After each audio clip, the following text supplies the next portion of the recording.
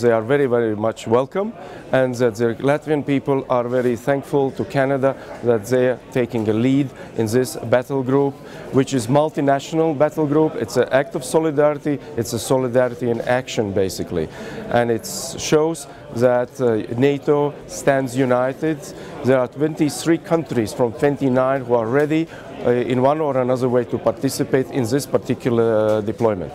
Overall, the Army likes to take a very broad approach to training, so we've done a lot of basic soldier skills and we couple it with uh, mission specific training. Do a lot of company level training in this sort of uh, what they call uh, conventional warfare.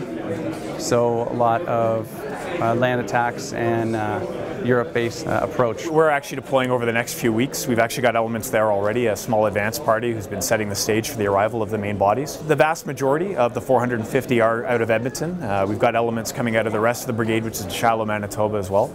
And we've pulled in various specialty components from, frankly, across, uh, across the country in order to put together a cogent, what we call a battle group, but which is really all the uh, the expertise, the bits and pieces in terms of the skill sets uh, to balance off the strengths and weaknesses.